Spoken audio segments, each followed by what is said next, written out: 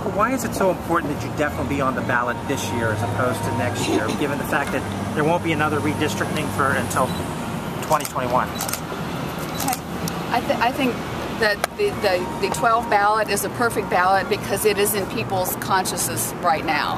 Uh, we, we just went through the process um, and, they're they, they remember now what, what a problem it was. I think that's been a problem with redistricting is that it happens so infrequently and by the time we're ready to do it again, the memories of how badly it went the last time have faded. The fact that it's a presidential election this year isn't playing a role in this decision?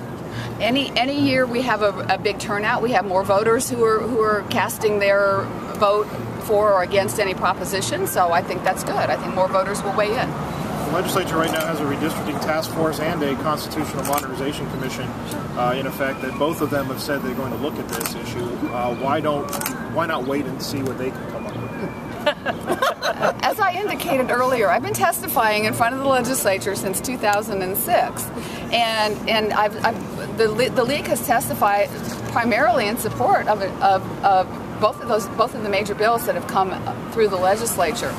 Um, they've not gotten it over the hill yet, and so I'm not going to. We're tired of waiting for the legislature to actually um, make some changes. And they've, they've had a number of opportunities. Probably their best opportunity was um, what uh, two, almost two years ago when, when both the Letson bill and the Husted bill uh, were under consideration. Uh, they they couldn't make it happen. So I, I think that because they haven't been able to make it happen, we need to do it. How far are you so far on your signature efforts? I don't know exactly. So I can't answer that. I think I think there may be somebody available. I think Ian is available at the end to address that. Can someone in plain in plain English in like 30 seconds or less tell us what this amendment actually does? 30 seconds or less. Yeah, just. I, I think it, it, the, the primary thing is that it, it puts voters, citizens in charge with the independent commission rather than the politicians. And it also gives those citizens some good public policy guidelines on things that they should be looking at in order to make their decision um, that, that are going to be favorable to the voters, not to the politicians.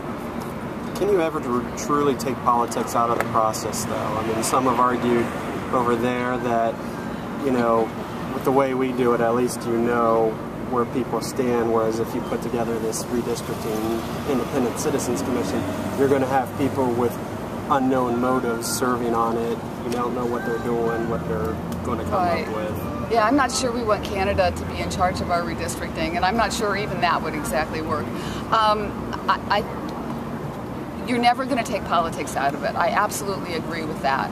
But the, the degree to which we have politics in it right now, I think, is unprecedented. And we know our system does not work as it is. We no, I don't think anybody's going to come up with a perfect system. I think this was this one is going to be a lot better. Um, you talk about motivations. Um, I, I I, I, think that citizens, I think that's what we've seen over over the year, over this year, on those states that ha have citizens commissions, that they have they have operated as good government citizens and, and a little less as politicians. Not not not perfect, but but less.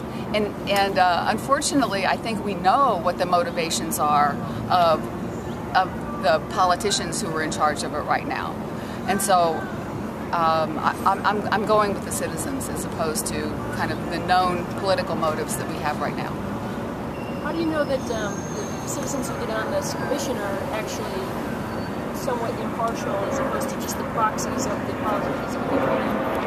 Well, I, I, don't think I don't think you do know exactly, and that's why we've said we want some balance between Democrats and Republicans, but we also want people who are of neither of those parties, and so I think that gives us some balance. And people who are the the really uh, hardcore politi- politicians are excluded from the process. So I, am not sure that we can we can find the, the perfect commission, but I think this this one is as as as good as our uh, very politicized system is going to produce. And I, I, would just add, as Anne mentioned earlier, there are the public policy um, guidelines, the the good government guidelines to uh, guide this Independent Citizens Commission, and that's the means to hold them accountable. Thank you, Nick. How many, how many other states uh, use a citizen panel? I should know this. I'm sorry, I don't. California. California, Arizona, Florida. Um, I think there, there's there's a number of them, and they're they're they're they all have they're all structured differently. And you know, I think I think redistricting really is different from state to state. I think it has to be different from state to state. Uh, uh, Ohio is a very politicized state, so what is going to work in some states is not necessarily going to work here. So, you know, we've tried to, to, to fashion a solution that's going to work for Ohio. Um, and I have yet to see anything that's perfect. I mean, we, we testified um, about both, in, in, support of both Letson's and Husted's bills, but with, you know, with, with, with some tweaking. But it, it's not, there's nothing, there's no perfect system, or I think we all would have found it by now. This is an extremely complicated, convoluted kind of issue, and every time it's come up where the public has had a chance to weigh in on it, Reform Ohio Now example, um, the public really has not understood it, or we've seen a lot of confusion in the polls and what people say. So, how are you going to break this down so that people know what the heck it means to them? I think it means it means the foxes are not no longer in charge of the hen house. It means that people's vote will be counted. And you can look at the, the organizations who are supporting this, and, and it's a lot of your, your traditional good government organizations. And I think people have some confidence that that uh, they'll, they'll, leave the details to uh, the League of Women Voters, uh, Common Cause, the Ohio Council of Churches, uh, to, to, look at the details and make sure that, that what's there is really going to meet those goals. And I think it will.